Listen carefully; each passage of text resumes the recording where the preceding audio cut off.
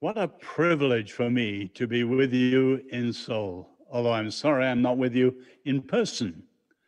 I've had the privilege of speaking at Sarang Church in California, have many Korean friends here, and I've twice been to Seoul itself. But what a privilege. Above all, because I admire the Korean church for your passion for prayer, for your passion for global mission and for the way the church has grown, even as Korea has developed in the modern world, which is unusual. I would love to give a full picture of the opportunities and challenges facing the Church of Jesus in the 21st century, but we haven't time. So I want to focus on one great challenge the growth of an aggressive supernaturally powerful secularism, which at its heart has an absolute hatred for God and a hatred for Jesus. Let me make five quick points if I can. First, remember the grand tasks facing the church in the 21st century. First, we must prepare the global south the gospel is exploding in the world, but mostly in the global south. But much of the global south is pre modern.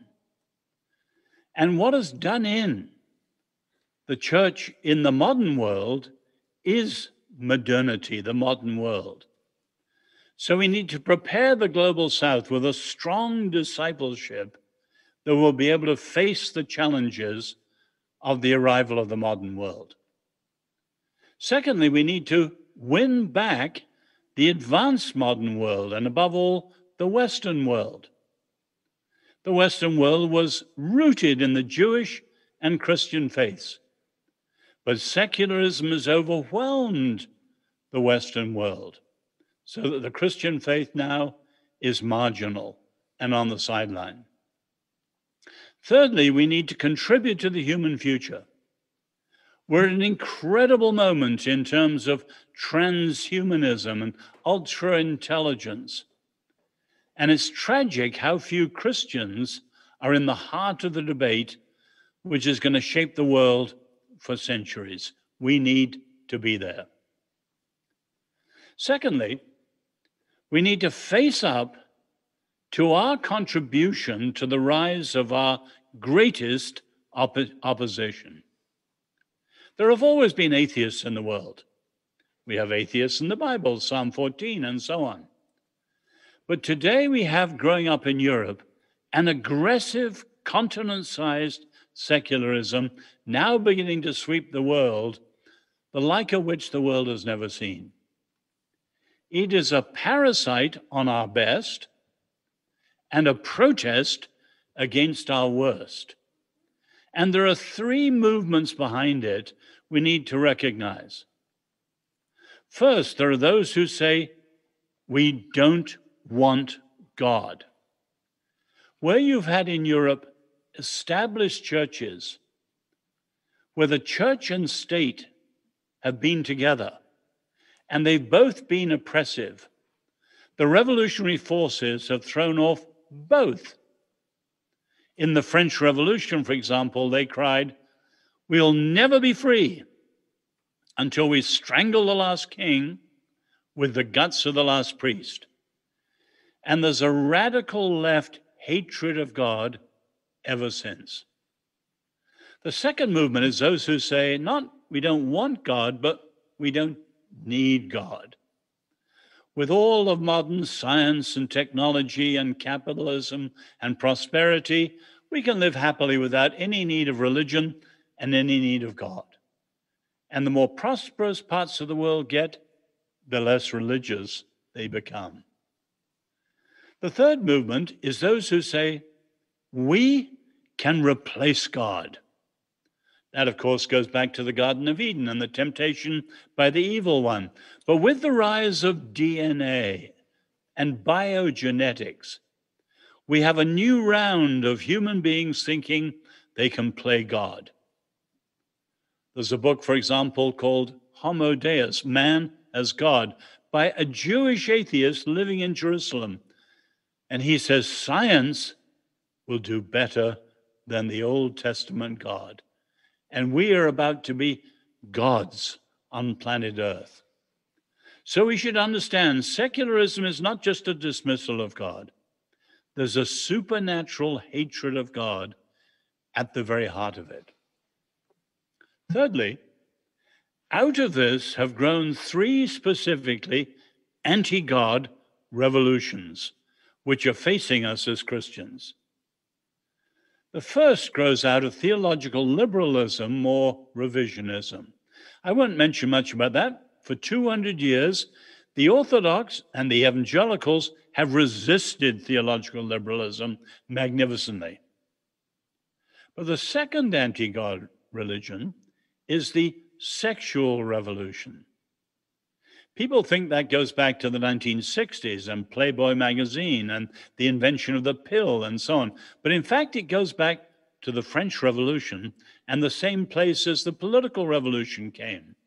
And if you know the architects of the sexual revolution, they say quite clearly they will never win until they overcome two enemies one, parents, that's why they want sex education at ages three and four to rule out the place of parents. But secondly, the church. And they know that we are the alternative to their dangerous ideas.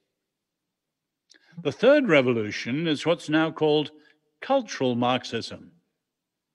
You know classical Marxism, which of course is most powerful just south of you in China with Maoism and Marxism. But cultural Marxism is what swept Europe and much of America and is really the greatest danger in the advanced modern world.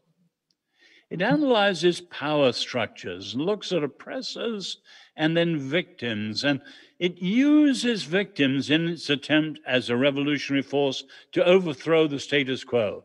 And you have women's studies and race studies and queer studies and fat studies and so on. And put them all together, you see the greatest challenge to the Christian faith a total alternative way of life, a total alternative worldview. And openly, it's taking on the church, and in much of the West, sadly, it is now dominating. Fourthly, we need to wrestle with the distortions of faith in the advanced modern world. Not all the challenges we face come from ideas. The modern world itself has a subtle way of shaping us, often without realizing it. And to resist it, you need to recognize it. Let me mention three things that have nothing to do with ideas and yet are deeply damaging to faith. And I'm sure some of these are beginning to come in in Korea too. First, the modern world shifts us from authority to preference. Take consumerism. We have so many choices today. From the foods we eat, to the clothes we wear, to the cars we drive. Everything is a matter of your choice, your preference, what you feel like today, and so on. And that comes into everything, including worship, including theology. And more and more, you have people rejecting part of Scripture because they like this bit, not that bit. They loved love, not law. One man said to me, Hell? Hell no. We all want love, but he didn't want judgment. And you can see that much of the modern church is riddled with a preference mentality that picks and chooses what it wants and throws out what it doesn't want. And of course, that's deadly to lordship and to discipleship. Take a second distortion. The modern world shifts us from an integrated faith to a fragmented faith. Jesus is Lord everywhere. But in our modern world, with so much mobility in cars and driving, we're strung out. Many years ago, I taught an adult class at President Reagan's church in Los Angeles. And I asked them, how many miles did they drive to come to church? And many said 75 miles, 50 miles. They come to church, they go to work, they go to a sports game, they go to the beach. Los Angeles is a huge city, like Seoul. And it was in that context that a critic said the Christian faith has become privately engaging, publicly irrelevant. It works here, but not there. It means everything at home, but not at work. The Christian faith had become fragmented rather than integrated. And of course, that again is deadly to the Lordship of Christ and discipleship. Or take a third example.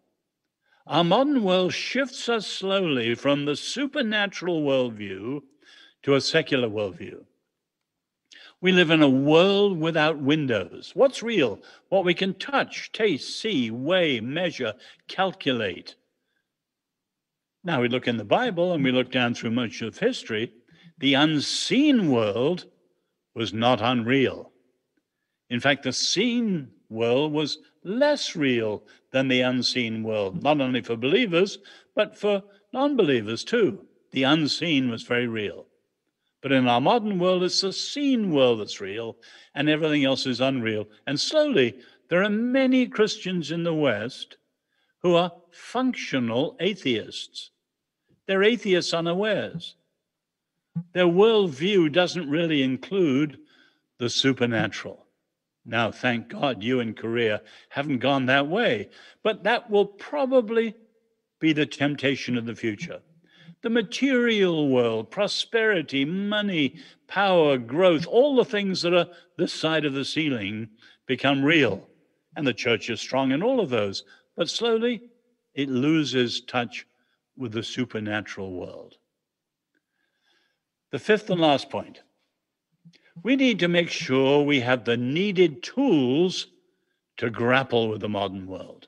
Again, let me mention quickly three First, and very obviously, spiritual warfare. Now, as I said, I admire Korean prayer and your passion for prayer. So you're known for that worldwide, and even Koreans in the West have a much greater practice of prayer than many Western Christians.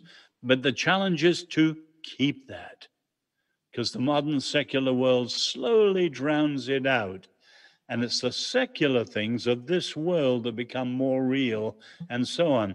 And so I would expect the Korean churches to face that temptation, to grow more and more materialistic, and to be concerned with their numbers and their money and all things like that, rather than spiritual power from the supernatural world. Secondly, you need the history of ideas. Many people just confront ideas as they come across their path.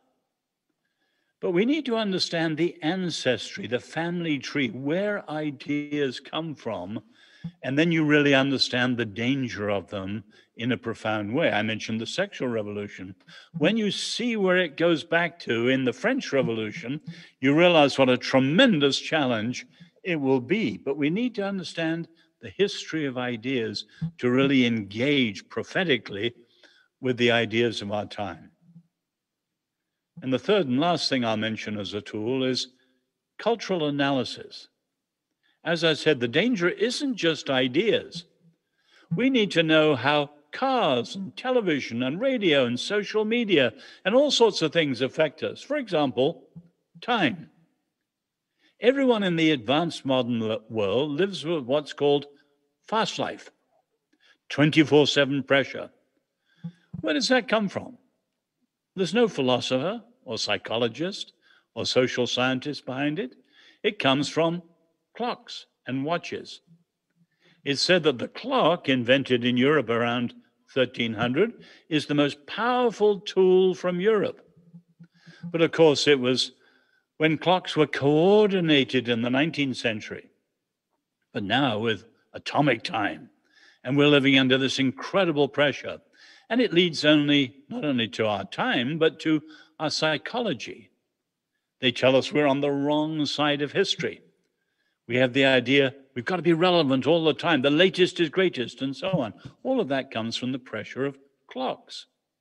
Now, to be in the world, but not of it, we have to recognize the world, and we need the tools to be able to do so. So let me summarize this for your prayer. As you look out on the 21st century, the Christian faith is the largest faith on the earth. But in more and more parts of the advanced modern world, we're not doing well. The central issue today is faithfulness. I don't know if you know the name of the great English Christian leader, John Stott. He died a few years ago in his 90s. I visited him on his deathbed and I was praying for him and I asked him, he was a great friend. I said, John, how do you want me to pray for you?